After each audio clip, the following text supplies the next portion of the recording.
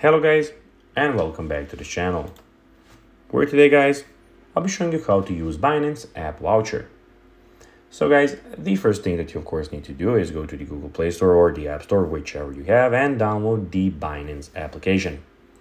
Now when you did that, you just need to go and log into your profile or register to Binance if you already do not have a profile on this application. But now guys, let's see what we actually have in front of us here. So in the bottom, we can see that we have the markets, square, we have the buy, sell, convert, and deposit, we have the discover tab and the portfolio tab at the very end. But now guys, let's see how you can actually go and use Binance app voucher. So Binance vouchers offer various perks such as free tokens, trading fee rebates, and more. And here's how you can redeem them. Of course, firstly, as I said, log into your Binance account, go to profile, and then go to the rewards hub. You can see that we have web wallet, deposit, convert, referral, support, and the last one is the rewards hub.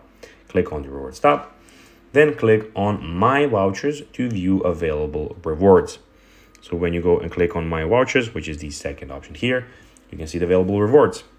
Under the ongoing tab, find the voucher you want to use, for example, token voucher, trading fee rebate voucher, and follow the instructions to redeem the voucher.